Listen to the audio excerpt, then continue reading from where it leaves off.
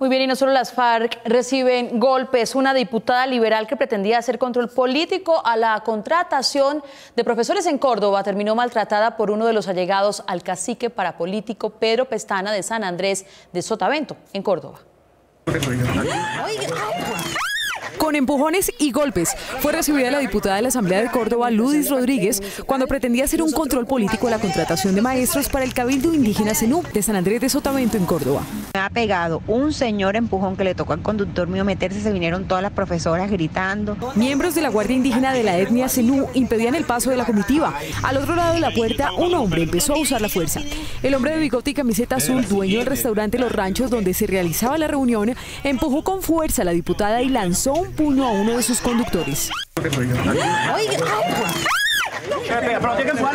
El agresor fue identificado como Sergio Peralta, cercano al parapolítico Pedro Pestana, quien estando prófugo disfrutó a su lado de los carnavales de San Andrés de Sotavento en febrero de 2016, cuando Peralta fue coronado rey Momo.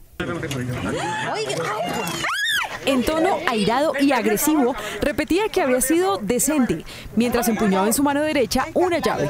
Le pedí el favor, caballero. ¿O no le pedí el favor? Dígame. Decentemente le dije, doña, mamita, hágame favor. Los asistentes le pedían respeto. Tampoco tiene que maltratarla en el territorio indígena. ¿Dónde está el territorio indígena? Aquí, este es un sitio que se llama Los. Ranchos. Ay, pobre, Ah, con razón. bueno. Con razón, el pelo se le quemó en el sol. Maestros, concejales y la diputada pedían ingresar para hacer veeduría al proceso manejado por el cacique de Derespitia, también cercano a Pestana, señalado de contratar a profesores que no son de la región, a conveniencia de las actuales campañas políticas. Con 15 eh, personas de la Guardia Indígena allí eh, con, armados con, su- con sus bastones de mando para no dejar entrar a ninguno de los docentes que están inscritos. San Andrés de Sotavento es uno de los 34 municipios en alerta roja y máximo riesgo de violencia y fraude electoral, según la MOE.